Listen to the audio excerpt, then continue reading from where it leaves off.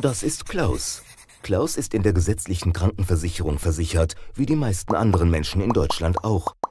Da die Leistungen der gesetzlichen Krankenversicherung allerdings sehr beschränkt sind und viele Leistungen gar nicht oder nur gegen eine Zuzahlung zu bekommen sind, interessiert sich Klaus für eine zusätzliche Absicherung.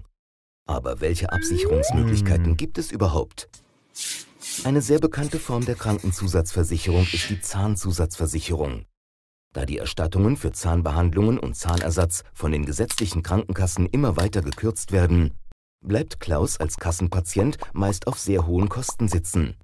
Eine einfache Zahnersatzmaßnahme, zum Beispiel eine Zahnbrücke, kostet heute bereits ca. 1500 Euro, von denen die Krankenkasse nur ca. 30 Prozent übernimmt.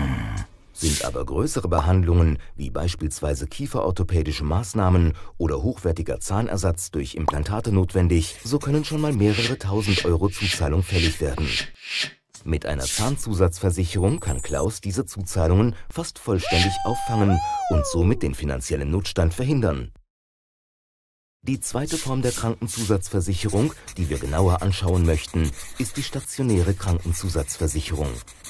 Als einfacher Kassenpatient kann Klaus nur mit einer sehr eingeschränkten Behandlung im Krankenhaus rechnen. Die mögliche Unterbringung in einem Mehrbettzimmer mit anderen kranken Personen ist dabei noch das kleinste Problem. Neben der Unterbringung im Ein- oder Zweibettzimmer übernimmt eine stationäre Krankenzusatzversicherung die Kosten für die Behandlung durch einen Spezialisten, wie zum Beispiel den Chefarzt. So ist Klaus im Falle eines Falles immer in den besten Händen. Eine weitere zusätzliche Absicherungsmöglichkeit bietet die Krankentagegeldversicherung. Diese Form der Krankenzusatzversicherung ist ebenfalls sehr wichtig, da sie einen vorher fest vereinbarten Tagessatz für jeden Krankheitstag ab dem 42. Tag einer Krankheit bezahlt.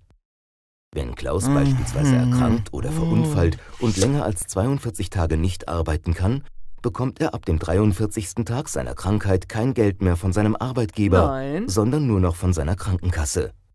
Die Krankenkasse bezahlt Klaus allerdings nur noch ca. 79 Prozent seines letzten Nettoeinkommens, sodass auf dem Konto von Klaus im Falle eines Falles eine erhebliche Lücke klafft.